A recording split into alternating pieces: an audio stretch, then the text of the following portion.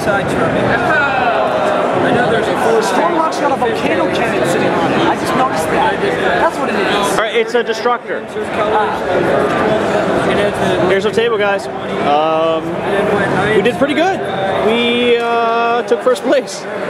Um, feels really good actually because you know all, all the work that kind of went into it and all the painting and stuff. So definitely feels good. You got Space